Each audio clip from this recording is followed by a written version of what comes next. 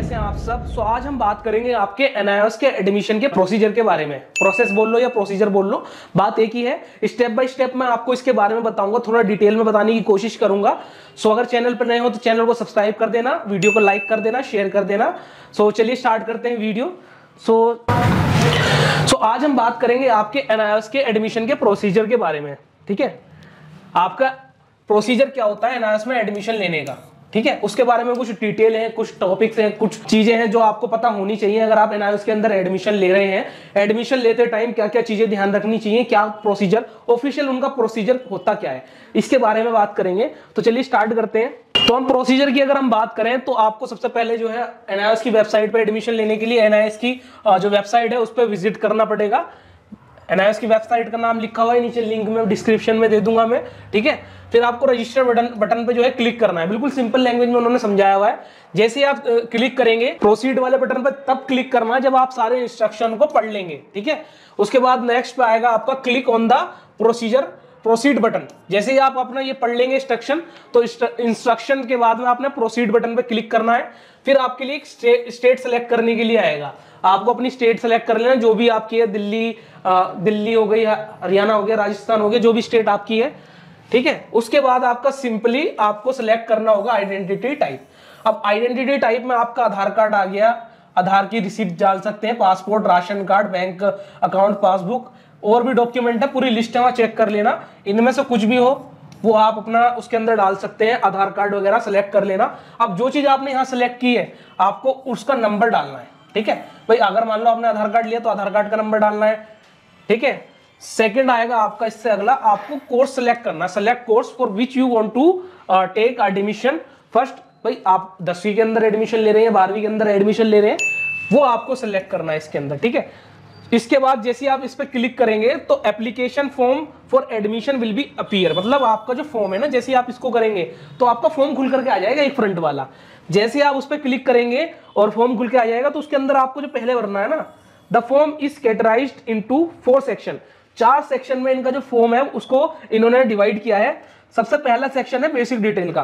Basic detail means आपका नाम, आपके पिताजी का नाम, माता का नाम, आपकी डेट ऑफ़ बर्थ वो चीज़ ये हो गई। फिर है ऑप्शनल डिटेल जो चीज़ें ऑप्शनल में पूछे जाएँगी स्टडी मीडियम ये वगैरह, ठीक है? फिर है सब्जेक्ट सिलेक्शन मतलब आपने एक बार अपनी बेसिक डिटेल भर दी और ऑप्शनल डिटेल भर दी, फिर आपको अपने सब्जेक्ट सेलेक्ट करने हैं। कितने सब्जेक्ट आपको लेने हैं कौन कौन से लेने हैं, ठीक है? Last but not the least आपका जो है स्टडी सेंटर सिलेक्शन इसमें थोड़ा ध्यान देना, अगर आप ये फिल कर रहे हो तो स्टडी सेंटर वाले में, बल्कि सारे ही इंपॉर्टेंट है बट स्टडी सेंटर वाले में थोड़ा खास ध्यान रखना अपना। बेसिक डिटेल वाला भी चेंज नहीं हो सकता। बेसिक डिटेल वाला भी देखिए, ठीक है? अब अगर हम बात करें बेसिक डिटेल के बारे में सो बेसिक डिटेल जो हमारा तीन सेक्शन के अंदर डिवाइड किया गया मतलब ये भी अपना तीन पार्ट में डिवाइड किया गया है। तीन सेक्शंस के अंदर डिवाइड किया गया है बेसिक डिटेल वाला। ठीक है? पहला है आपको बेसिक डिटेल नाम अपना डालना, अपना फादर नेम डालना है, अपनी डिटेल वगैरह डालनी है, ठीक है? दूसरा है आपका एड्रेस एड्रेस के अंदर जहाँ आप रहते हैं, जो भी आप आइडेंटिटी यहाँ आपने आइडेंटिटी टाइप सेलेक्ट किया था ना, उसमें आधार कार्ड सेलेक्ट किया सपोज़ अगर आपने अपना आधार कार्ड सेलेक्ट किया था ना यहाँ तो उस पर जो आधार कार्ड पर जो एड्रेस है ना, वो डालना है आपने, ठीक है? उसका डॉक्यूमेंट आगे अपलोड के लिए आएगा तो वो ध्यान रखना। फिर है तीसरा अदर इंफॉर्मेशन ये अदर के अंदर आपकी डिटेल होगी, आपके कौन सी लैंग्वेज वगैरह में ठीक है? फिर इसके बाद है, आपको अगर जैसे आप ये यहाँ पहुँचेंगे तो आपको अपना फादर्स नेम ठीक है? फिल करना है father's name mother's name date of birth ठीक है? वैलिड मोबाइल नंबर और ईमेल आईडी ये थोड़ा ध्यान से भरना, सारी चीज़ें इंपॉर्टेंट है, जो भी मैं आपको बता रहा हूँ यहाँ पर। सारी चीज़ें इंपॉर्टेंट है। फिर क्या करना, आप जब इसको चेक कर लो, इसको दो दो दो बार, तीन बार चेक करना, क्योंकि ये डिटेल चेंज नहीं होती है।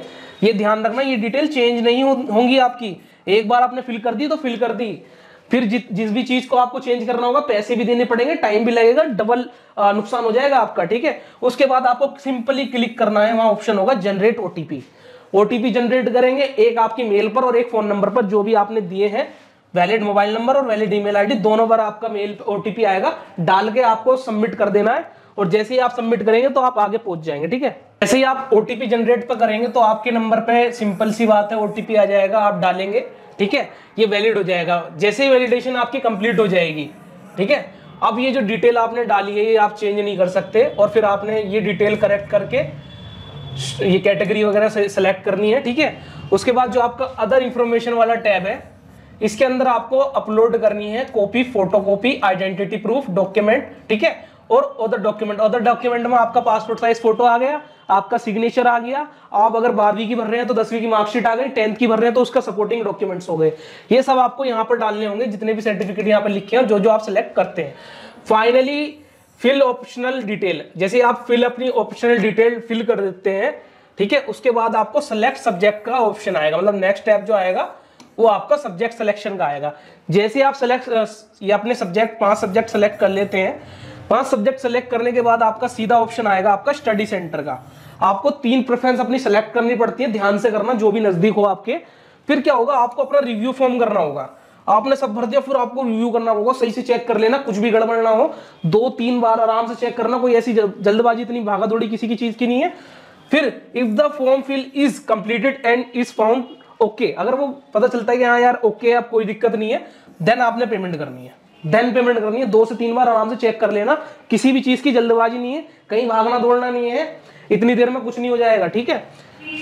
जैसे आप पेमेंट करेंगे, वो अप्रूव्ड हो जाएगी पेमेंट गेटवे से और आपके पास आपका रेफरेंस नंबर आ जाएगा। रेफरेंस नंबर आपका रेफरेंस नंबर आपका आ जाएगा, ठीक है? रेफरेंस नंबर जैसे ही आ जाएगा, आगे का प्रोसीजर स्टार्ट हो जाएगा कंफर्म होने के लिए। तो इसमें मैंने आपको स्टेप बाय स्टेप उसके अंदर जो स्टेप बाय स्टेप स्टेप्स होते हैं, कैसे लेने पड़ते हैं, क्या चीज़ होते हैं, क्या इंपॉर्टेंट होता है, क्या नहीं होता, सबको, सब कुछ, सारी चीज़ें मैंने बताने की पूरी कोशिश करी है आपको समझ में आई होगी। इसके अलावा कैसे आप खुद से अपना फॉर्म फिल कर सकते हैं, इससे रिलेटेड भी हमने ऑलरेडी वीडियो बनाई हुई है। आप जाकर हमारे चैनल पर चेक कर सकते हैं, नीचे लिंक दे दूँगा मैं।